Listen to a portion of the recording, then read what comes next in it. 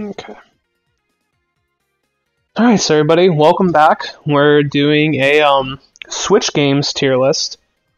Um, gonna be ranking some games here. I'm gonna be doing, I don't know what this 112 bullshit is. Um, I'm gonna be doing like big box, like AAA games. I'm not doing like indie games like Cadence of Hyrule or Golf Story or anything like that. Um, also, I want to point out that I haven't played every single thing on this list. So, I have this category here says haven't played but want to. I want to point out that every single thing that's in this category, except for two, I own, but I haven't gotten around to playing it yet. So Astral Chain, uh, this Dragon Quest, there's Fire Emblem Warriors, Octopath Traveler. This is one of the two that I don't own, as well as this, this, this, this. Okay. So these are all probably, especially Dragon Quest and Xenoblade, are probably like S tier games. Like, let's be real here. Like, I haven't heard too many people talk about Astral Chain, but I have it sitting right 10 feet away from me. Same thing with Dragon Quest, Fire Emblem, and these five. But, sorry, all six of these. One, two, three. Okay, my bad. It was five all five of these, but I just haven't gotten around to playing them yet because I have too many games on my Switch and too many games on my PS4. And I'm also going to put must buy. These aren't necessarily my favorite games for the Switch. One of them is my favorite game for the Switch. So, Breath of the Wild, Super Mario Odyssey, and Smash Bros. Like, you probably already knew what I was going to put there if you know anything about the Switch. Like, I don't I don't even need to discuss this. Like, if you have a Switch and you don't own at least one of these. Go out and buy them. They are fantastic games, 10 out of 10, and I can't recommend them enough. Like these are the games that you buy a Switch for. Everything else is just it's just cake. Like frosting on the cake. So, we have S through D. I really wanted to do like must buy, can buy, all that shit, but I, I don't care. And I typically don't like putting anything above S because like there are games that I prefer to Zelda and Smash Bros. But like you buy a Switch to get these games, so I, I can't not put them at the highest. So we're just gonna go in order. I'm not gonna go D, C. I'm just gonna go right in order what it is down here. One, two, Switch. you buy it. This came out during launch. You know, same time as or Breath of the Wild. So people bought it because it came out during launch, and it's just it's like Wii Play or Wii Sports, but like not fun at all. Like it shows off what the Joy Cons can do, which is cool. You spend like 15 minutes playing with playing it, and then you just don't ever play it again. That's all I have to say about that. Animal Crossing New Horizons. I haven't played this since probably July, but I don't know. I was disappointed by it. I much prefer New Leaf and the and the GameCube version. I didn't play Wild World or um. Was Wild World the one? No, Wild World was the DS, and then City Folk was the Wii. Okay, yeah, it's it's okay. I think the crafting in it is is okay. It's not bad. Meant like everybody was wanting an an Animal Crossing game for home console since we haven't had one since the GameCube. But I would much rather play New Leaf any day than this. I think most people can agree that New Leaf is better than New Horizons, and if you don't, then you haven't played New Leaf. Sorry. And then like it's cool. I feel like there's a lot more waiting around for bullshit in this game. Like there's a lot more like uh like scripted waiting days events than there were in New Leaf. Maybe that's just me. Maybe it's because I haven't played New Leaf in a while, but this game is just it's B tier. Like if you like Animal Crossing, you'll probably like it, and I do like it. That's why it's in B tier. But I don't know. Arms up update your shit, Nintendo. You put Min Min in Smash, but you won't update Arms. Get the fuck out of here. All right, Bayonetta two. That's us. I, I really didn't want to put Bayonetta 1 on here because Bayonetta 1 is on the PS3, PS4, Xbox 360, and Xbox One, as well as Wii U and Switch. But Bayonetta 2, I, I probably like it more than Mario Odyssey in all honesty. Like this game kind of blew me away. Like I, I both have, I still have my copy of it for the Wii U, and I have my copy of it for the uh, Switch over there. This game is my favorite hack and slash game ever made. Like it has such good combat. The story in it is it's a lot better than the first one, but it's nothing really like that special. Characters are okay, but like man, the combat, the setting, like it just does everything so right. I have never played a game that has better combat than this. Like when I played Nier Automata, which was after I played this game, it felt so weird to me. And Nier Automata is like this, this like oh like this uh, really well respected, really like game, and I did like it, but combat has nothing on Bayonetta 2, and Bayonetta is hot.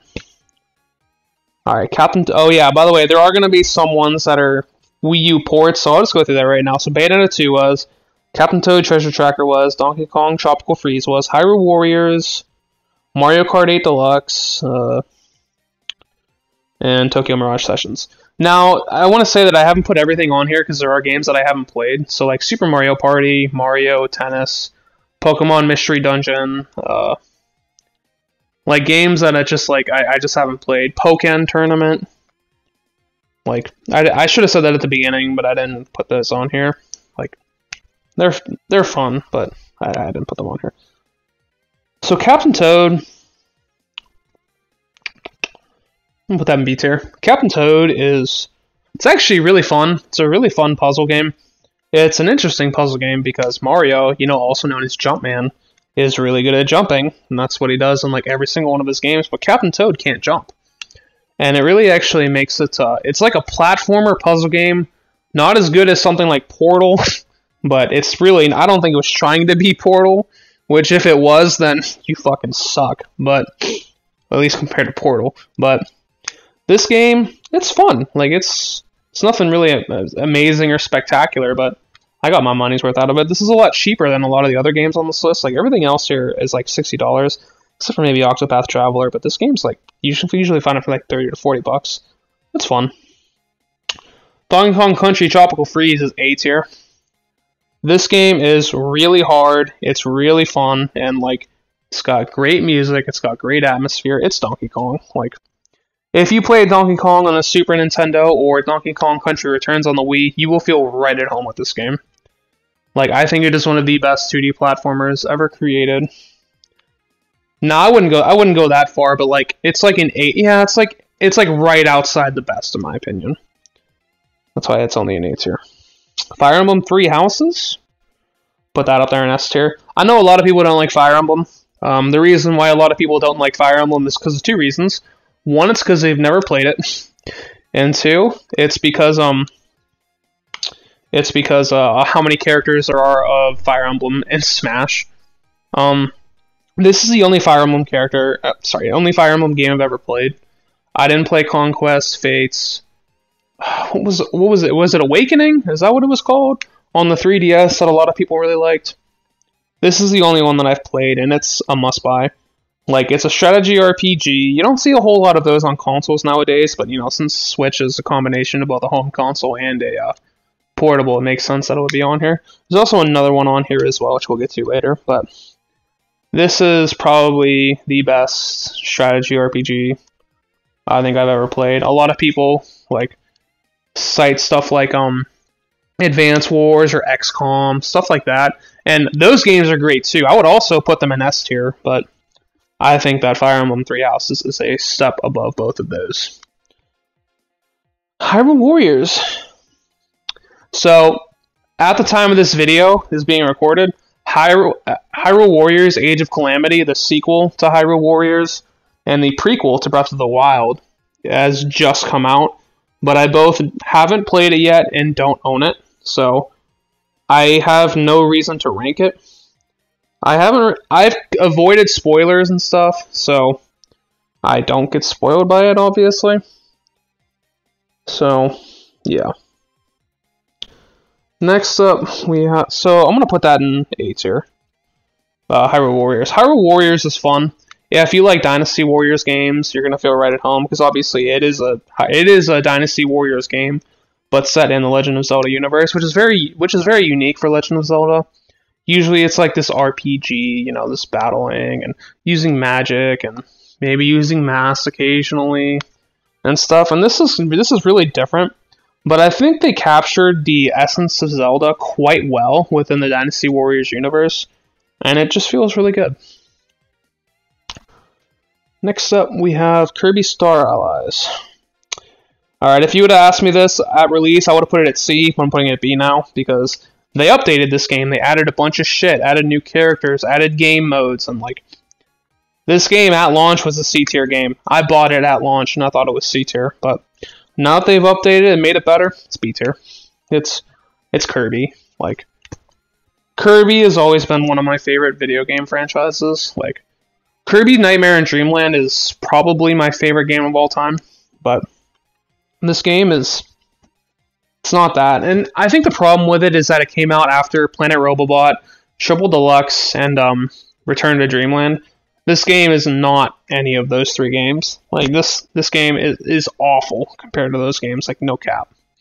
But it's fun. Like if you're not like if this is like one of your first Kirby games you've ever played, it's probably maybe higher, but coming from someone who's played a bunch of Kirby games, it's B tier. Link's Awakening, the remake, that's A tier. Um, and the reason it's A tier and not higher is because um, it's just not. I eh, no, I'm not. I'm not. I'm not going to say that. I actually just haven't put that much time into it. I probably put about three or four hours into it.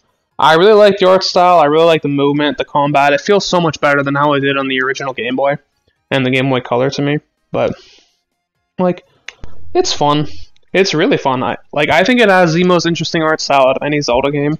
And this is coming from someone whose favorite Zelda game is Wind Waker. So, you know, the most interesting art style. But that's fun. Luigi's Mansion 3. I'll also put that in A tier. This game's fun. Like, it's really good. Like, it's way better than the 3DS Luigi's Mansion, but I wouldn't say it's as good as the first one. Like, this game, from a gameplay sense, is better than the first one, I would say. But the first one on the GameCube, you know, just Luigi's Mansion, has the best atmosphere out of any Mario game. Like, I just like when I was a kid, I was scared of it. And now I play it, and I'm just like, this is so much fun. Like, I avoided that game like the plague when I was little. But now that I'm an adult, I fucking love the first Luigi's Mansion. This game's good. It's actually a good sequel. Like, you'll feel right at home if you've ever played Luigi's Mansion. I still have my copy of Luigi's Mansion sitting like eight feet away from me, so it's a good game. Mario Kart 8 Deluxe? Uh, no. Man, it's not my favorite kart racer of all time. It's not even my favorite Mario Kart of all time. My favorite is probably the Wii Mario Kart, but this game's great. Like, there's really nothing wrong with it. It's a step above the Wii U one because this is one of the ones where it was a Wii U port. They fixed battle mode. They added new characters. They added new carts. Like this game is is the best remake out of any of the Switch games because of what they did with it. So I I really have nothing to say about this game. Like again, it's not my favorite kart racer of all time. The best kart racer of all time, no cap, is oh, by the way, I just realized something. Anyway, by the way, no cap, the best kart racer of all time is Sonic and Sega's All Stars Racing Transformed. Yes, it's a Mario Kart clone, but it does such a good job at doing it that it's my favorite. Mario Maker 2? Hmm. You know, I'm, I don't think there's going to be any, like, C tier, so... I'm going to delete... Hold up. Make this C. And then I'm going to delete this. Maybe I'll change it later, but... Okay. Mario Maker 2 is good. I don't think it has the lasting impression on me that the first Mario Maker had. When the first Mario Maker game came out, like it was revolutionary. People went nuts for it. And this game, it it does stuff that the first one didn't do, and it like it did make a bunch of changes that were really nice. I think the problem with it is that like the Wii U touchpad was perfect for Mario Maker 2, and using controller to make levels isn't as fun. The levels themselves are, I mean, it depends on who's making them, but they can be fun. And they included a whole ass Mario game, like a whole ass Mario 2D platformer game in this game, which is nice. But I think the problem with it is that it came out at a weird time.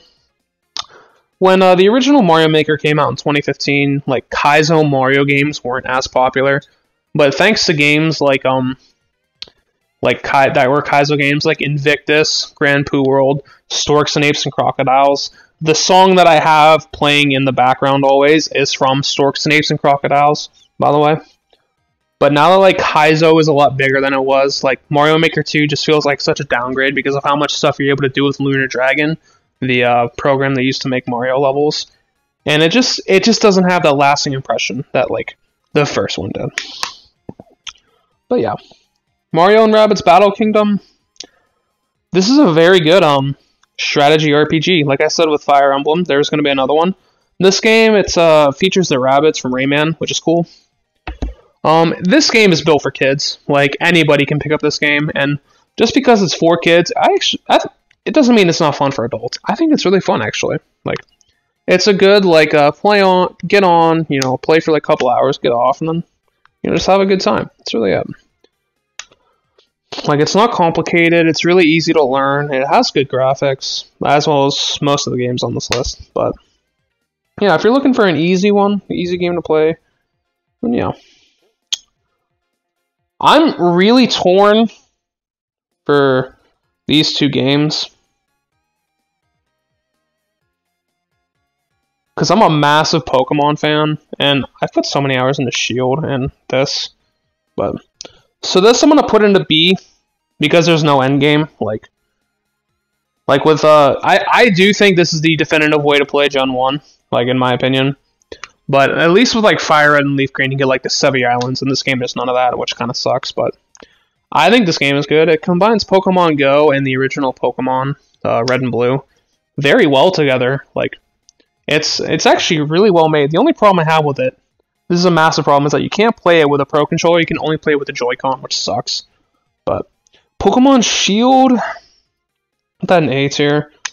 I think Pokemon Shield is a solid Pokemon game. It's not the best. It's not as good as like Black and White 2 or Platinum, which I think are the best ones, and Heart Gold Soul Silver.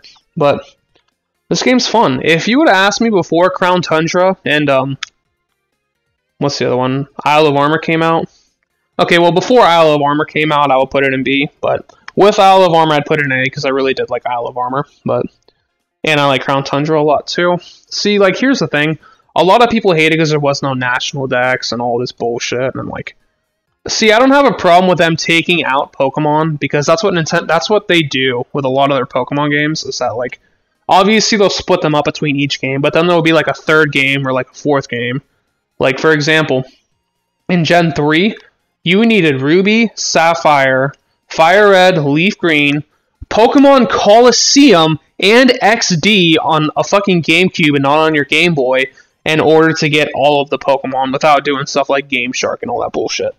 This game, like you just get, you know, one of you probably don't even need like both of the games because of like things like the GTS and surprise trading and whatnot because you don't need fucking link cables in order to trade with people. You just need an internet connection.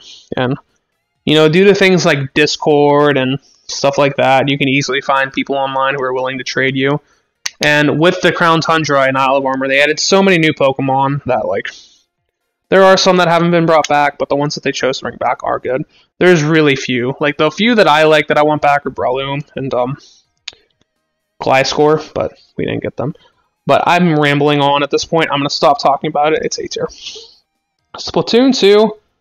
Splatoon 2 is fun. This is like um this is like the multiplayer game on Switch that isn't Super Smash Bros. Like obviously like having having a multiplayer game on Switch, like, and having Smash Bros is kind of sus. But this game actually does really well. A lot of people like the first one. I actually never played the first one, but this game's fun. I like how um instead of doing like team deathmatch or shit like that, you do it's usually like capture the flag or no, is it capture the flag? I, I don't know. I don't often play those game modes. I play like turf war a lot, which is um you have paint, and you have to get as much paint across the uh, ground as possible. And whoever whoever has the most amount of paint covered wins. Now you can also kill people during that time too to stop them, but kills like they matter they matter for your score, but they don't matter for you winning. So what you personally score it matters, but for winning, no. But if you're killing people, that means they're spraying less, which does basically help. So there's that.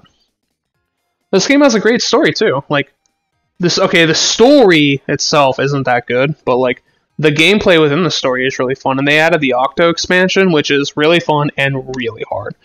This game, honestly, you'll get your money's worth when you play Splatoon 2. Like I got no bunnies, I got no problems with it. Tokyo Mirage Sessions was a game I avoided on the Wii U. I didn't really avoid it, I just never had an interest in it, but this game's fun. Like, it's, uh, It's made by the same people as Persona, Atlus, and Shin Megami Tensei. This combines uh, Shin Megami Tensei elements and um, Fire Emblem characters, and I think it does really well. It has interesting combat for a JRPG, which like a JRPG combat usually isn't my favorite, but I think this one does it really well. Like, there's a couple other JRPG combats that I think work really well, like specifically South Park Stick of Truth and Chrono Trigger.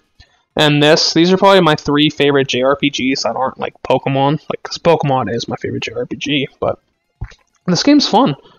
Like you have uh, interesting characters and like you're trying to become an idol and whatnot, and you're defeating demons, and you see a bunch of music videos here and there. It's fun. Like it's got good graphics. It has a really good soundtrack. Look up Reincarnation from this game. Look up the Kiria version, but not the Tsubasa version. Tsubasa version's good, but the Kiria one's better. And this game is fun. Like, if you like JRPGs and you like uh, music, this game is probably for you. Alright, so that's my list, everybody. I hope you enjoyed. Um, if you disagree with me, you know, leave it in the comments, say what you want. So, that's it. Peace.